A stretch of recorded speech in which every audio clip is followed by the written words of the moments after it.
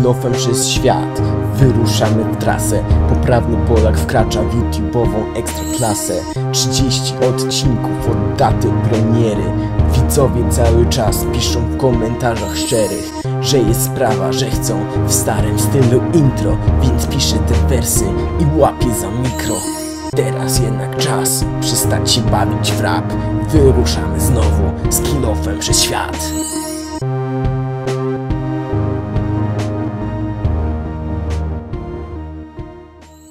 Cześć, witajcie, z tej strony Poprawny Polaka. To kolejny odcinek z mojej serii z Kilofem przez świat.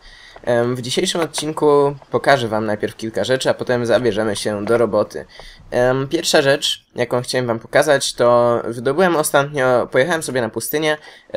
Może, jeśli nie zapomnę, pokażę wam się tutaj jakieś screenshoty z tej pustyni, bo chyba zrobiłem. Wydobyłem sporo piasku i ten piasek teraz się przepala w piecu. E, Druga rzecz, jaką, na jaką chciałem zwrócić uwagę, to mój poziom doświadczenia. Mam już prawie 30 z powrotem. E, I kiedy ten 30 poziom doświadczenia osiągnę, co mam nadzieję uda mi się zrobić w tym odcinku, e, kiedy wydobędę, znaczy kiedy przetopi się już reszta szkła z piekarnika. Zobaczcie swoją drogą, ile mam tutaj szkła. Już mam 8 staków szkła gotowych i teraz szykuje się kolejne 8 w tych 8 piekarnikach. Mianowicie, jak będę miał już 30 poziom doświadczenia, pójdę zaenchantować książkę em, i zobaczymy, co z tej książki wyjdzie. Jeśli wyjdzie enchanty dla narzędzia, to zaenchantuję ten nasz diamentowy kilof po raz drugi, ponieważ wydaje mi się, że dzięki kowadłu można coś takiego zrobić, chociaż głowy nie daje, nie jestem pewien. Em, a jeśli wyjdzie enchant dla miecza, to zrobię sobie diamentowy miecz i pójdę sobie w następnym odcinku z tym zaenchantowanym diamentowym mieczem powyżynać trochę potworów, ponieważ diamentów mam już ponad 9, e, więc naprawdę jestem teraz w stanie zrobić coś takiego jak diamentowy miecz. Em, dobra. Kolejna rzecz, jaką chciałem wam pokazać, e, to zrobiłem sobie w neterze schody e, od portalu na sam dół, aż do morza lawy i nie będę teraz do neteru się udawał, ponieważ mi się nie chce mm, tracić na to czasu, natomiast wydobyłem trochę lawy, e, przyniosłem w wiaderku i teraz tutaj mamy, tutaj jest 10 e, wiaderek lawy i tutaj są jeszcze dwa. Dwa? Czy jedno? Wygląda jakby było jedno, ale chyba to są jednak dwa wiaderka lawy, a tutaj jakoś powierzchnia się ułożyła skośnie z jakiegoś dziwnego powodu.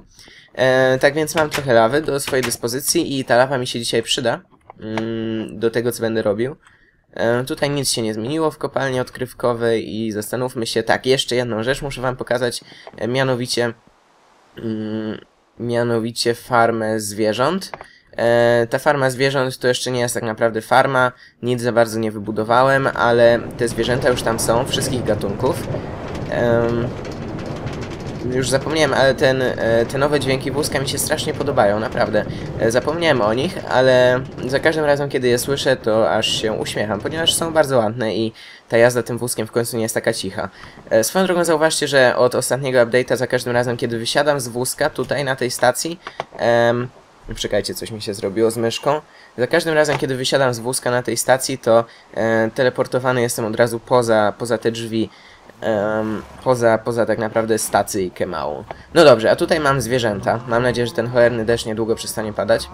E, tutaj mam świnki. Jak widzicie, już troszkę ich się namnożyło. Mam przy sobie zresztą marchew, to mogę ich jeszcze troszkę dorobić. Stanę sobie na tej drabince. No i klikamy. Klikamy, klikamy, klikamy. Zresztą mogę wejść nawet pomiędzy, e, pomiędzy tłum. No i myślę, że więcej już małych świnek nam tutaj nie powstanie.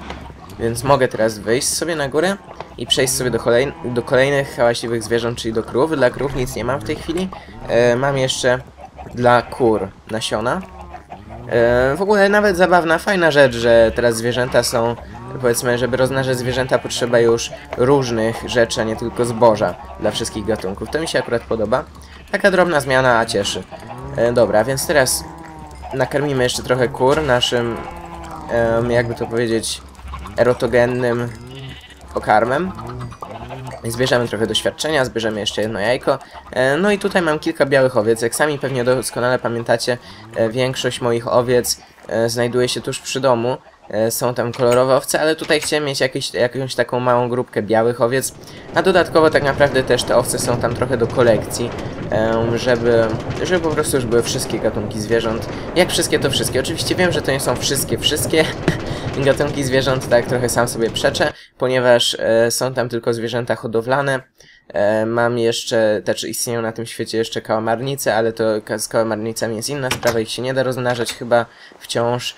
E, istnieją jeszcze koty, których wciąż nie widziałem ani razu, istnieją psy czy wilki i wydaje mi się, że tyle. Chociaż nie, właśnie, jeszcze jedna rzecz. E, udało mi się ostatnio, nauczyłem się łowić ryby i złowiłem sobie jedną najeżkę, bodajże tak się nazywa po polsku, trzy stare, tradycyjne surowe ryby i jednego łososia. a także w drodze na pustynię udało mi się znaleźć nowe kwiatki. Mamy niebieskie orchidee, z których da się zrobić błękitny barwnik i czerwone róże, z których da się zrobić mm, dwie sztuki czerwonego barwnika za jednym zamachem. Teraz z tego kwiatu maku da się zrobić już tylko jeden barwnik i tak samo z żółtego kwiatka także tylko jeden, jedną sztukę, powiedzmy jedną porcję barwnika. No dobrze, a teraz mamy już 30 poziom. I to nawet tak grubo ponad 30 poziom, nawet 31, ponieważ dostałem trochę doświadczenia przy rozmnażaniu tych zwierząt. A więc e, szkło odłożę na miejsce. I teraz zajmiemy się, tak, odłożę jeszcze jajka, żeby mi nie zajmowały miejsca w ekwipunku niepotrzebnie. Um, I czym się teraz zajmiemy? Tak, teraz weźmiemy sobie, zrobimy książkę, zaenchantujemy sobie ją. Mam na szczęście trochę skóry. E, zaraz, ile trzeba było skóry na książkę? E, nie wiem, nie pamiętam. Szczerze mówiąc, wydaje mi się, że trochę tego trzeba było. E, tutaj mamy trzcinę cukrową, której zapasy cały czas się zwiększają dzięki mojej automatycznej farmie. E, no i teraz spróbujmy sobie przypomnieć, jak powstaje książka. O, proszę, proszę, tylko jeden kawałek skóry, więc nie jest tak źle. E, teraz wreszcie skóry też będę miał pod dostatkiem, ponieważ mam tą farmę krów jakąś bardziej funkcjonującą. E, dobra, pójdźmy sobie w takim razie... Z, e, nie, najpierw póki jest jeszcze noc, e, pójdę się przespać. Dzięki temu powinna się zmienić pogoda na... E, powinno się rozpogodzić, powinien przestać padać ten cholerny deszcz, którego tak bardzo nie lubię. E, w Minecrafcie. W rzeczywistości zresztą też nie lubię deszczu, ponieważ e, po pierwsze jest mokro, a po drugie słabo się gra w piłkę, jak jest śliskie boisko. E, dobra, i teraz pójdziemy sobie zaenchantować naszą książeczkę. Zobaczymy, co z tego wyniknie. Pójdziemy potem w razie czego do kowadła. E, swoją drogą przy kowadle mam jeszcze kilka zaenchantowanych książek, też przypomnę sobie, co ja tam mam. A potem przejdziemy do meritum odcinka ale to dopiero za chwilkę. Dobra. Uwaga, panie i panowie, enchantujemy. I co nam wyszło?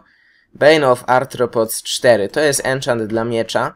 Eee, I nie jestem w stanie powiedzieć, czy to dobry enchant, czy zły, jak na 30 poziomów doświadczenia zużytych na to. Natomiast e, Bane of Arthropod, z tego co pamiętam, e, zwiększa obrażenia przeciwko którymś konkretnym potworom. Wydaje mi się, że był bonus Smite, który zwiększał bodajże obrażenia przeciwko zombie i pająkom, ale teraz naprawdę strzelam. I ten enchant zwiększa obrażenia przeciwko jakimś tam innym potworom e, może szkieletom, to byłoby naprawdę przyjemne e, mieć po, potężniejszy miecz. Wtedy szkielety by pewnie szły na jednego albo dwa hity diamentowym mieczem. E, no na dwa to pewnie tak czy inaczej by szły, ale może nawet na jeden. E, dobra, pójdźmy sobie teraz, tutaj mamy nasze kowadło i zbiór cennych, magicznych książek. E, co my tu mamy? Smite 1, Project, Projectile Protection 1 to jest dla zbroi, ochrona przed odłamkami po polsku by się to nazywało, czy pociskami. E, Sharpness 3 to jest dla miecza, czyli jeśli, jeśli da się nałożyć dwa enchanty faktycznie na miecz, to bym nałożył te dwa Sharpness 3 i Bane of Arthropods 4 i to byłby dosyć potężny miecz. Um, dobra, natomiast e, what I'm gonna do now to mm, pokazać wam i zobaczyć przy okazji samemu ile mam diamentów. Mam e, 12 diamentów. E, udało mi się zdobyć jeden szmaragd, ponieważ znalazłem także wioskę mm, villagersów na pustyni czy w okolicach pustyni, na której wydobywałem piasek na szkło e, i udało mi się opchnąć im trochę ich własnego zboża z, jej, z ich własnej farmy za jeden szmaragd. E, dodatkowo znalazłem także jakąś taką pustynną oazę i w tej oazie udało mi się znaleźć e, te dwie rzeczy. Nie, nie, te dwie rzeczy, sorry. Te dwie rzeczy zdaje mi się, że są chyba także z wioski, z, z domu Kowala, z tej skrzyni, w której zawsze jest coś fajnego. E, I znalazłem tam także chyba dwie sztabki złota. O, i siodło, zobaczcie, właśnie, jedna sprawa. E, łowiłem sobie ostatnio ryby i pierwsza rzecz, jaką złowiłem, to siodło. Ja nie wiem, nie wiem, naprawdę spodziewam się, że to jest jakaś taka dodana rzecz, e, która, która najprawdopodobniej jest bardzo rzadka, ponieważ siodła generalnie miały być rzadkie, więc chyba miałem wielkiego farta. No, ale teraz pokazałem wam już chyba wszystko, co miałem wam do pokazania i możemy przejść do, mm, przejść do tego, co miało się dziać tak naprawdę w dzisiejszym odcinku. E, Do tego celu będę potrzebował wiaderek, em, podstawowych narzędzi, Puh, w zasadzie na wszelki wypadek dorobię sobie jeszcze trochę. Ostatnio moje zapasy żelaza naprawdę maleją. O, zobaczcie, tutaj, e, tutaj trzymam zbroję na pierśniki, więc tutaj przełożę tak, że w takim razie już dla porządku spodnie i buty żelazne. Em, o tutaj, dokładnie. Zrobię sobie na wszelki wypadek jeszcze jeden metalowy kilow, żeby potem nie musieć wracać tutaj niepotrzebnie. Um, tam, to tam, patyki robimy. I robimy sobie kilof. I zostanie nam jeden patyk, dobra. Patyki odłożymy z powrotem na miejsce, trzcinę odłożę z powrotem na miejsce. Em, I teraz tak, mam przy sobie pochodnie? Mam, okej. E, Zboże, znaczy nie zboże, tylko nasiona i marchew mogę schować sobie z aktywnego ekwipunku. Em, I czego jeszcze potrzebuję? Hmm, nie wiem, chwilowo chyba niczego. Dobra, więc e, czym się zajmę? Zajmę się, moi drodzy, zrobieniem czegoś, co nam się bardzo, ale to bardzo przyda. E, będzie to mianowicie będzie to pułapka na pewne potwory z, pełne, z pewnego spawnera. I moi drodzy, ja ostatnio, zdaje mi się, że, no nie, nie tak ostatnio, ale kilka odcinków temu mówiłem wam, że szkoda, że cały czas nie znalazłem spawnera szkieletów. Pewnie co bardziej pamiętliwi z was wiedzą, że to jest nieprawda, e, ponieważ ja spawner szkieletów znalazłem i za chwilę wam go pokażę. Zobaczcie swoją drogą, ile tutaj mi wielkich drzew wyrosło. Naprawdę to ładnie wygląda i aż mi szkoda je ścinać. Szczególnie, że ścinanie wielkich drzew, tych takich rozrośniętych, jest naprawdę powolnym procesem. E, I żmudnym, i mozolnym, i tak dalej. A tutaj, moi drodzy, mam spawner szkieletów, który znalazłem dosyć dawno temu. Co nie zmienia faktu, że ten spawner tutaj jest i czeka tylko na to, żeby e, coś z nim sensownego zrobić. Więc pierwsze, co ja sensownego zrobię z tym wszystkim, e, to obniżę sufit, ponieważ strasznie to jest wkurzające, kiedy nie da się normalnie zejść po schodach, tylko zahacza się cały czas głową o sufit. Nawet w grze, kiedy nas to nie boli, jest to denerwujące, ponieważ spowalnia nas to znacznie. Em, ojej, żwir. Niemiło. No ale dobra, trudno. Naprawdę żwir jest takim utrapieniem Minecraftowiczów od niepamiętnych czasów, że trudno, trudno znaleźć coś gorszego. Um, Okej, więc rozwalimy sobie jeszcze tutaj sufit. E, I z powrotem musimy pozbyć się żwiru. Nie, zaraz, ustawiłem ten sufit za nisko. Sufit tutaj, tutaj mi się ustawiła przez przypadek kostka kobla. No i w końcu pozbyliśmy się już żwiru. Możemy teraz kopać normalnie i za chwilę zejdziemy już do spawnera. E, Nie ma co się obawiać o własne życie, ponieważ e, jestem na peacefulu, tchórzliwie.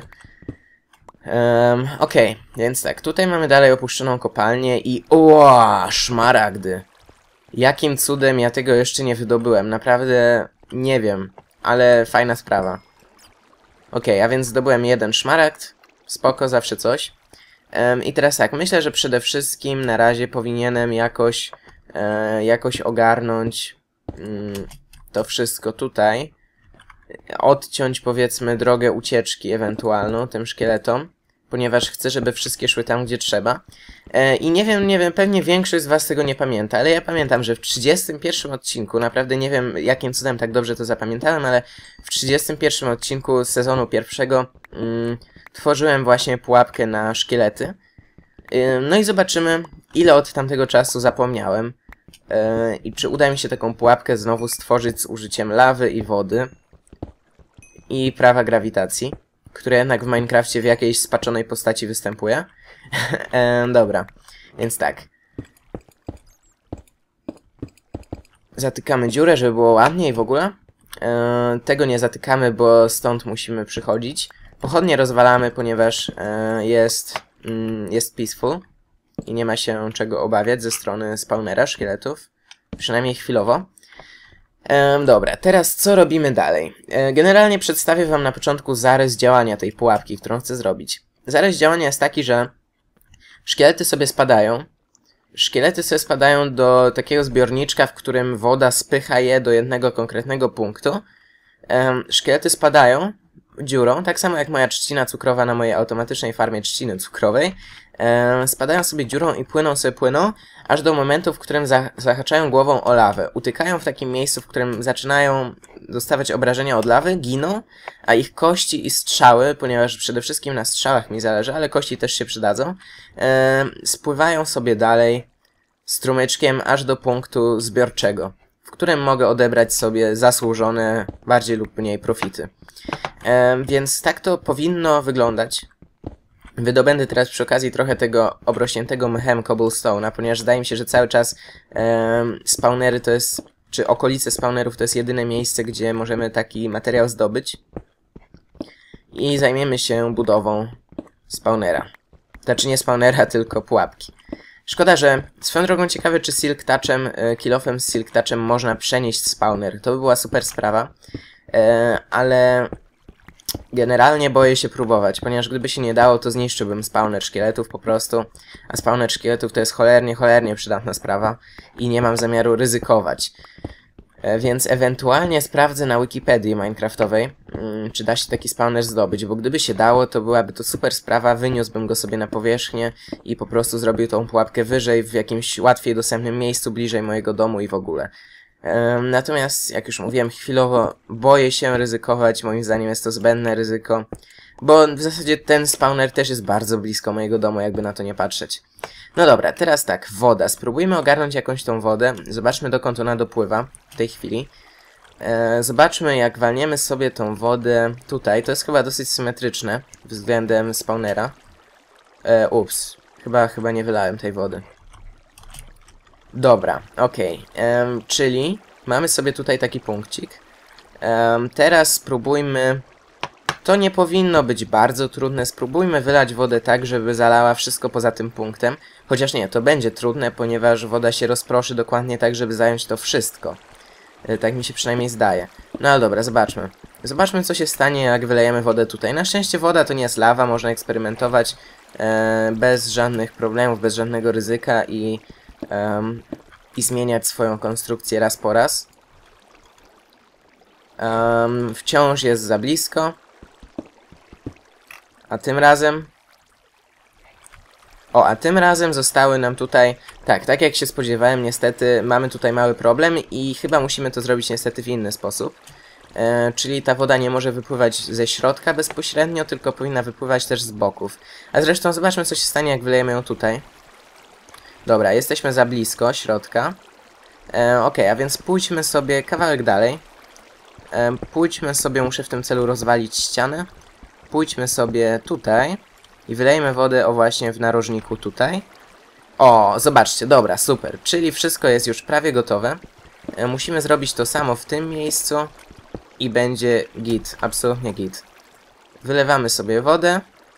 I moi drodzy, patrzcie na to, działa, super. A więc teraz wszystkie szkielety, które spadną ze spawnera, e, będą spływały w to miejsce. Chociaż nie, wiecie co, ja popełniłem błąd. E, troszkę się pośpieszyłem. E, trzeba tą ziemię bardziej obniżyć. E, z tego powodu, że... Mm, z tego powodu, że nie chcemy, żeby szkielety zahaczały potem ciałami o spawner i się blokowały. E, obniżmy to wszystko o dwa poziomy i powinno być spoko. Tutaj trzeba cały czas uważać, pamiętać o tym, że mamy tutaj jakąś jaskinię niestety. E, to jest dosyć... E, to jest dosyć przykry zbieg okoliczności, ale nie przeszkadza nam aż tak bardzo, żebyśmy mieli sobie z tym nie poradzić. no dobra. A więc trzeba tutaj troszkę po prostu pokopać. Tak już bywa w Minecrafcie, że czasem, raz na jakiś czas trzeba faktycznie po prostu spędzić chwilkę z kilofem, jeśli chce się coś osiągnąć. E, I może to być nawet metafora do prawdziwego życia, chociaż nie tylko, nie tylko w kwestii pracy fizycznej. E, w kwestii wysiłku umysłowego także. Pa, pa, pa. Właśnie, wydaje mi się, że mam kilka ciekawych screenshotów u siebie mm, na komputerze z tego świata. I jeśli, jeśli tak, to hmm, mogę wam je pokazać. Nie wiem, nie pamiętam dokładnie z jakich okazji były one robione, czy w jakichś ładnych miejscach, czy coś. Em, ale mogę wam je pokazać, więc... a być może wyświetlą się tutaj, ale jeśli nie wyświetlą się tutaj, to się nie dziwcie specjalnie, ponieważ, e, ponieważ jest, też, jest też taka opcja, którą rozważam, żeby zrobić na koniec sezonu, e, powiedzmy taki album wspomnień ze screenshotami właśnie z całego tego sezonu. E, I te screenshoty bym tam powstawiał i omawiał, powiedzmy, historie związane z nimi. Przypominał sobie, jakie to były czasy, kiedy robiłem te screenshoty, ile to było odcinków temu i tak dalej. Na koniec sezonu, żeby zrobić taki wspominkowy, specjalny, bonusowy odcinek. To może być fajna sprawa. E, A tymczasem zdobyliśmy kolejny, e, kolejny szmaragd. No dobra, i spróbujmy wylać tutaj w takim razie wodę. Będę musiał jakoś wyjść na powierzchnię potem jeszcze znaczy wyjść na powierzchnię, dostać się do schodów.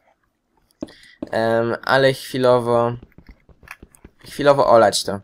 Chwilowo skupię się na przetestowaniu jeszcze raz tego systemu z wodą.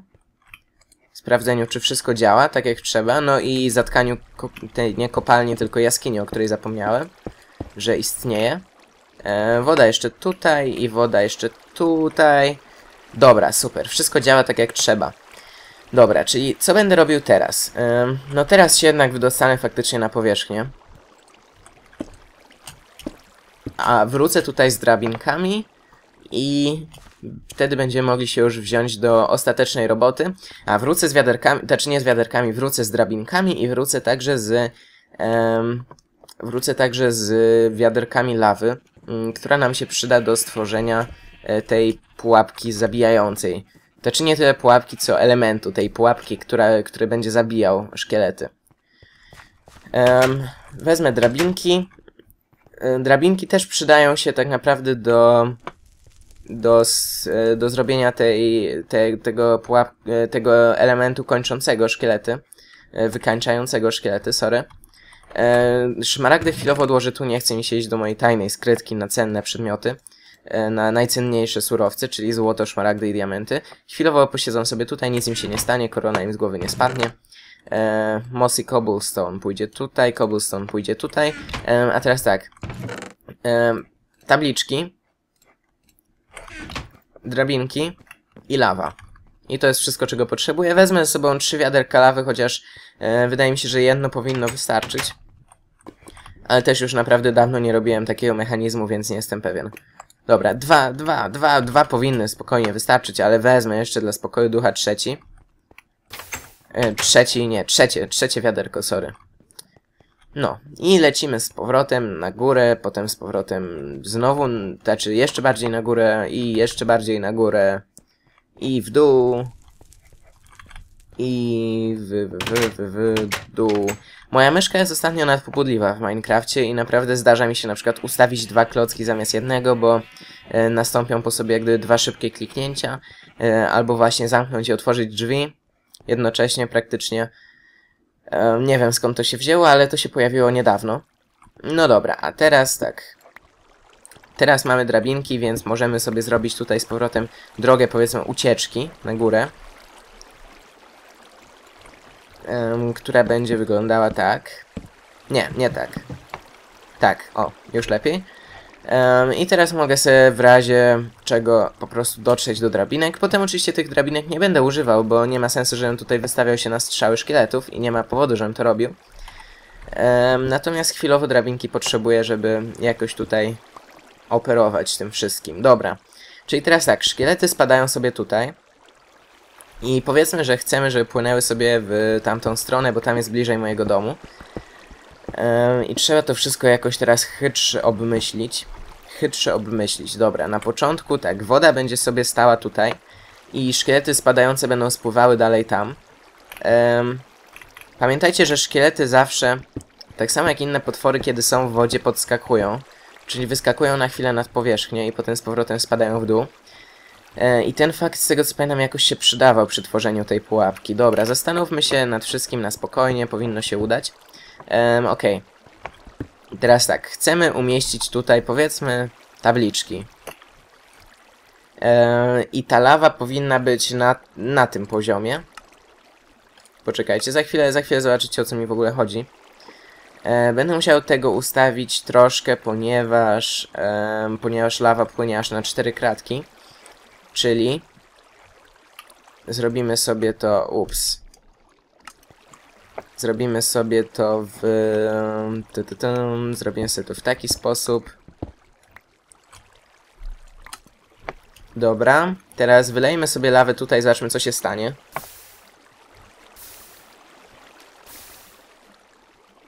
Dobra, jest tak jak powinno być. Szkielety dopływają sobie tutaj, zaczynają wyskakiwać do góry, e, płoną ostatecznie i giną, a ich szczątki spadają. E, dobra, teraz tak, potrzebuję tutaj zrobić... E, tak, tutaj musi być zapora. Mm, ta kostka musi tu zostać, żeby szkielety nie popłynęły dalej i nie przeżyły. I teraz tędy będą spływały dalej ich przedmioty. Znaczy przedmioty, które z nich wypadną. czyli... Czyli musimy sobie zrobić coś po prostu takiego. Woda będzie sobie dalej na luzie płynęła. I ona sobie gdzieś tam dopłynie. Dobra, chwilowo wiecie co, popłynę sobie kawałek razem z nią, szczególnie, że tu jest jakieś żelazo, a żelazo mi się przyda, bo ostatnio mam go coraz mniej. Um, natomiast za chwilę zajmiemy się na powrót e, pułapką. Generalnie wszystko na oko zdaje się, że będzie działać i że idzie po mojej myśli konstrukcja tego mechanizmu. Um, dobra.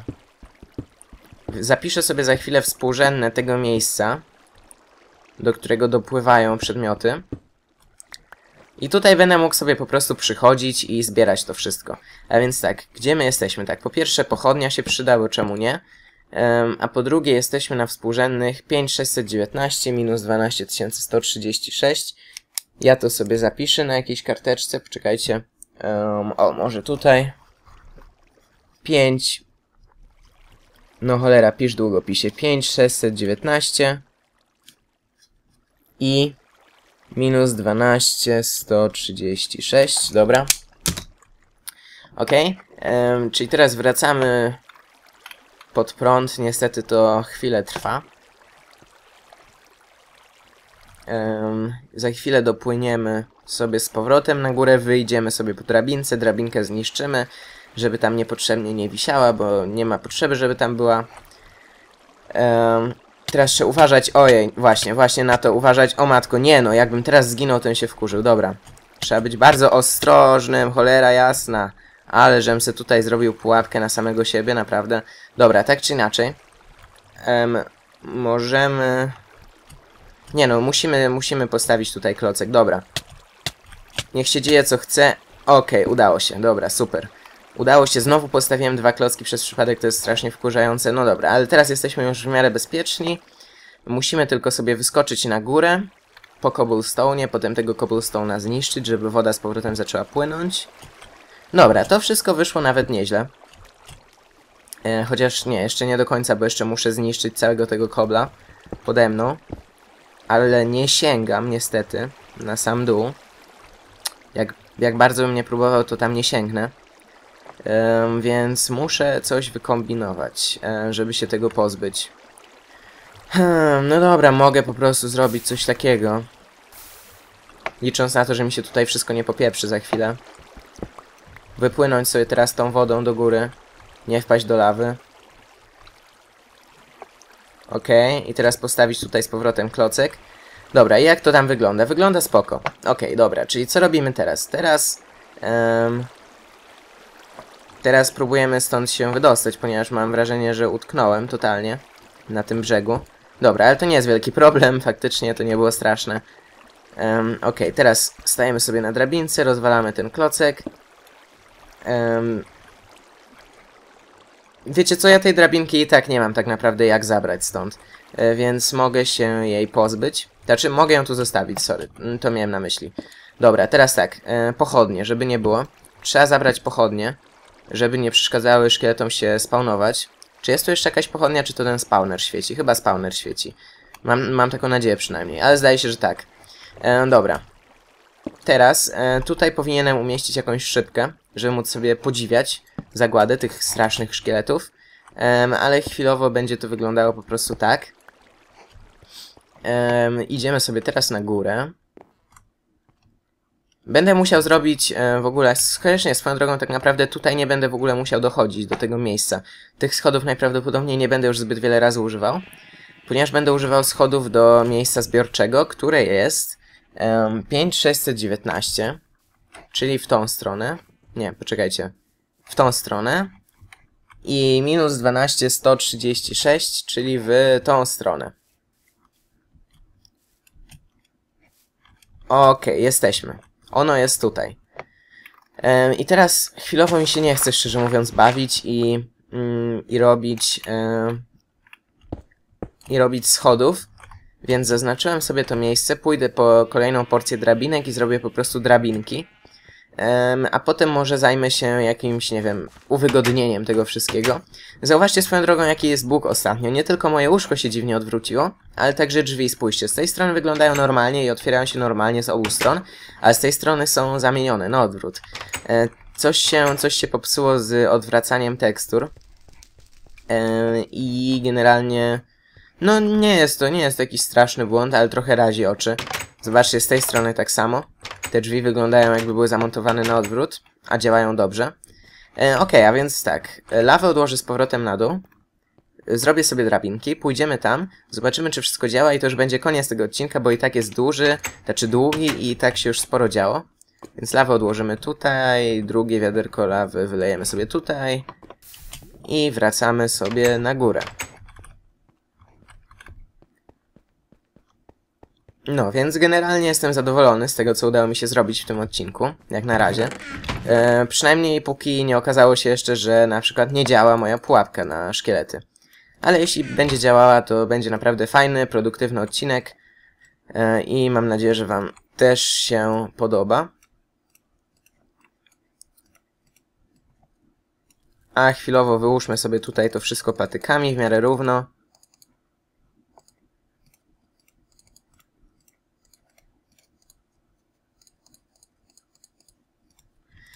Okej, stworzyliśmy sobie sporo drabinek. Wybaczcie za taką przerwę w komentarzu, ale mm, troszkę nie wiem, co mógłbym. E, troszkę, troszkę, troszkę mi zabrało. Zabrakło języka w gębie. Co mi się rzadko zdarza, ale może, może też dzięki temu, że to mi się rzadko zdarza, to ma to swój urok. Taki milczący, poprawny Polak. E, jeśli jesteście ciekawi, to ten odcinek nagrywam z powrotem troszkę na zapas. Jest dzisiaj piątek, poprzedni piątek, czyli jest tydzień przed opublikowaniem tego odcinka. E, I oczywiście nie tutaj powinienem pójść, tylko, e, tylko moja skleroza. O tak, tutaj powinienem dojść, dobra. No i stawiamy z powrotem, znaczy nie z powrotem, tylko stawiamy po prostu drabinki. No super, no oczywiście, że o to mi chodziło. Drabinki mają stać po jednej stronie. Kliknięcia mają być pojedyncze, a ja mam szczerą nadzieję, że uda mi się tutaj nie przypłacić życiem mm, kopania prosto w dół pod siebie. Jak sami wiecie, jest to, jest to główne przykazanie, jedno z głównych przykazań Minecraftowicza, żeby nie kopać pod sobą, ale, ale w tej chwili, szczerze mówiąc, mi się nie chce robić tutaj jakichś wybiegów, żeby uniknąć kopania pod sobą. Liczę na łód szczęścia. O, a tutaj trafiliśmy na schody do... E, to jest dosyć zabawna sytuacja. Trafiliśmy na schody do... E, wow, shit. Co tu się stało? Um, dobra, chwila, chwila. Chwila, chwila, musimy to wszystko jakoś naprawić. Całą sytuację. Ten płot mi się tutaj nie podoba. Nie chcę go tutaj. Chcę mieć tutaj wszystko ładnie zatkane. Żeby żaden potwór mnie tutaj żadną szparą nie ustrzelił, o ile to możliwe. Okej, okay. ustaw drabinkę tutaj, super. Uzupełnij drabinki tutaj, ekstra i jedziemy z powrotem w dół. I mam nadzieję, że dobrze zapisałem współrzędne, ale no chyba tak. Dobra, z powrotem drabinki, nie można o tym zapominać. Swoją drogą te drabinki zaraz mi się skończą. Nie spodziewałem się, że zeszliśmy aż tak nisko. Żelazo, super. Super, super, ale czy ja w ogóle jestem... O, okej, okay, jestem w dobrym miejscu, udało się. E, zabrakło mi drabinek, niestety. E, więc poza wszystkim innym to po prostu E, będę miał nawet problem z wydostaniem się stąd. No, ale znalazłem trochę żelaza, no i przynajmniej okazało się, że dotarłem w odpowiednie miejsce. E, teraz tak, z tego co wiem, potwory spawnują się tylko kiedy jesteśmy dostatecznie blisko nich. E, czy też dostatecznie blisko miejsca, w którym powiedzmy chcemy, żeby się spawnowały. Więc mam szczerą nadzieję, że w tej chwili stoję dostatecznie blisko spawnera szkieletów, że ten spawner działał. I będę mógł sobie po prostu stać tutaj i czekać na, czekać na przychody w postaci kości i strzał. I że nie będzie takiej sytuacji, że... Mm, I że nie będzie takiej sytuacji, że po prostu będę stał tutaj w tym miejscu i szkielety się nie będą spawnowały. Żeby się spawnowały będę musiał pójść e, tymi schodami aż na sam dół. I potem, żeby odebrać przedmioty, będę musiał wrócić z powrotem e, do tego punktu zbioru. Mam nadzieję, że tak się nie okaże. Mam nadzieję, że mi się uda to wszystko załatwić w taki sposób, żebym mógł po prostu zostawić swoją postać w danym miejscu. Spokojnie odejść od komputera na godzinę i wrócić potem, żeby zebrać, nie wiem, kilka kołczanów strzał. Przez Kołczan rozumiem tutaj tuzin, ponieważ zdaje mi się, że tak um, często w różnych książkach przynajmniej to było opisywane, że w Kołczanie średnio był właśnie tuzin strzał. Um, no dobra. Tyle już z pewnością drewna powinno wystarczyć na wszystkie drabinki, których potrzebuję. Um, niestety nie jesteśmy w stanie rozłożyć tego wszystkiego jednym płynnym ruchem. Um, wszystkich tych patyków na odpowiednie miejsca. Mm, ponieważ taki graf, który nam powstał, taki, takie, takie właśnie takie tutaj, tutaj, tutaj, tutaj, tutaj, tutaj i tutaj, um, połączone odpowiednio, wiesz, krawędziami, tak jak, tak jak, no tak jak, tak jak sąsiednie pola, powiedzmy, nie licząc na skos. Um, taki graf nie ma cyklu Hamiltona.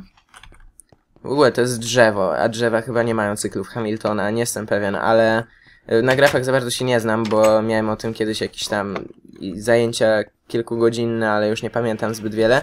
E, natomiast zdaje mi się, że tak tu się ładnie nazywa, że ten graf nie ma cyklu Hamiltona, więc nie możemy niestety rozłożyć patyków w ładny sposób, nie przechodząc ani, znaczy nie przechodząc dokładnie znaczy przechodząc dokładnie raz przez każde po prostu pole.